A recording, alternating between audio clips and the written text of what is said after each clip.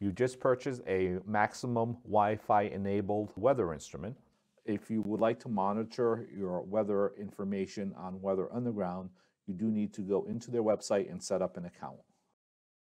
Once you're on the Weather Underground site, click on the join icon to the right. You will need to provide them with a valid email address and you'll set up a password. You agree to the Weather Underground terms of use and you sign up for a free account. Once registered, you will go into your profile and you will go into your devices in order to set up your personal weather station. Once in the member settings screen, you will select Add New Device. In the Add New Device page, you will select a personal weather station. You will scroll to the bottom to select Other and click on Next. Weather Underground will then require the device location. Type in the address of the installation and select from the drop-down menu your location. Select Next and you will name your weather station. You'll enter the height of your temperature sensor above the ground. Select whether or not you want to make your forecasts more accurate by sharing your location. You will then be registered as a Weather Underground user. You will be assigned your personal weather station, station ID, and your station key. Be sure to write that down, copy them. You will need that information after you install your weather instrument and when you set up the captive portal. Once the communication has been established, the status will go from offline to online. That's when you'll know that all your weather information is there. Prior to final installation, you always want to bench test any instrument that you'll be installing. This is the Wi-Fi sensor interface. This is the one we will set up first. Once you plug in your unit after it's been wired to the sensors, uh, you will wait until you see the orange light on that indicates that the captive portal has been launched. You'll be able to find it in the Wi-Fi networks named MaxNet dash two letters. The two letters or numbers will be random and you will connect to that network. It'll ask you for a security key. The security key for that, as listed in the captive portal instructions, will be MaxNet 00 all lower cases.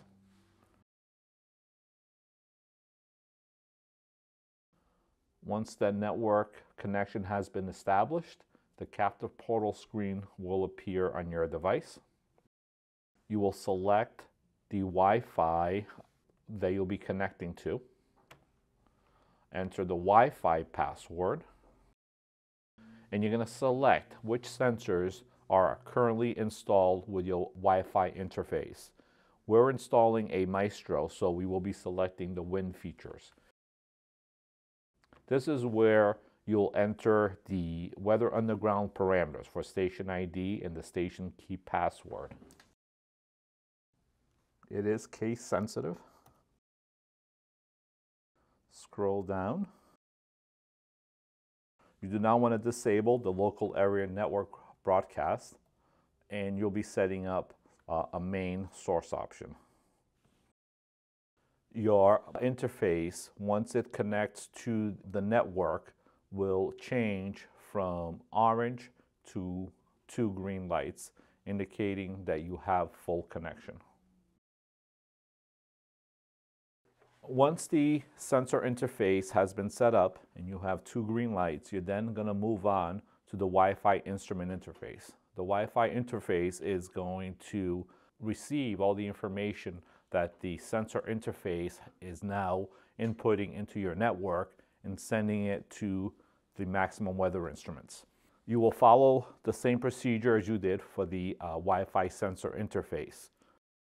Once the LED on the instrument interface has changed from red to orange, it'll launch another captive portal onto your network. You will see the MaxNet network appear on your available networks. The security key for the interface is the same, all lowercase, MaxNet 00, and that will launch the captive portal. You will enter once again the network that the interface is connected. An important note is that both the Wi-Fi sensor interface and the Wi-Fi instrument interface both have to be in the same network in order for the system to operate properly. You will select the sensors being recorded. For the instrument interface, you do not want to enter the Weather Underground credentials. You already have done so for the sensor interface. Adding it more than once can cause the system to crash and you'll be unable to upload information to Weather Underground. Go right on to saving the information. The instrument interface will connect to the network.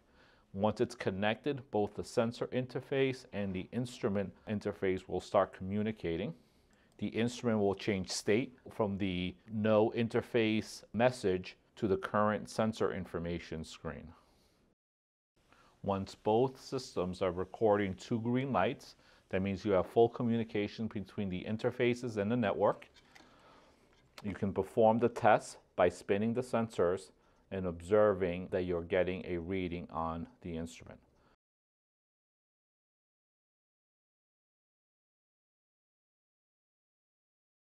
Once your captive portal is set up, you can go back into your Weather Underground page and you will see your station name and its assigned number. When you go on to final installation, there will be no setup required on the interfaces. After giving it a couple of minutes to connect to the home's network, everything should operate properly.